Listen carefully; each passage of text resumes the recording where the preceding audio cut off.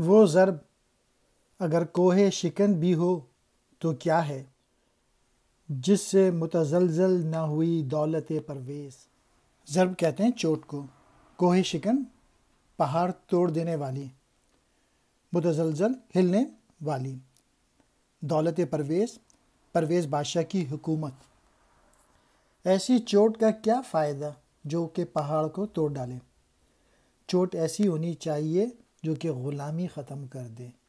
लोगों को सोते में से उठाते, लोगों के बिलीफ चेंज कर दे, लोग अपना पोटेंशियल डेवलप करने लगे। तो ऐसी पोइट्री ऐसी बातें करनी चाहिए।